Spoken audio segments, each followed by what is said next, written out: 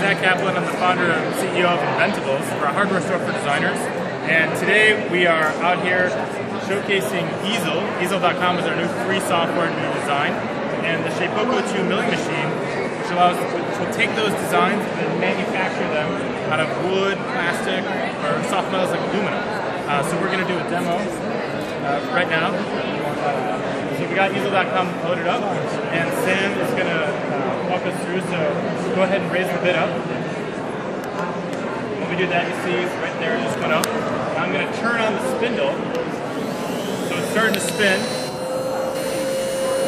Tell the spindle is on. And now we're going to start cutting. And when we do, it's going to start manufacturing right there. Go ahead and watch.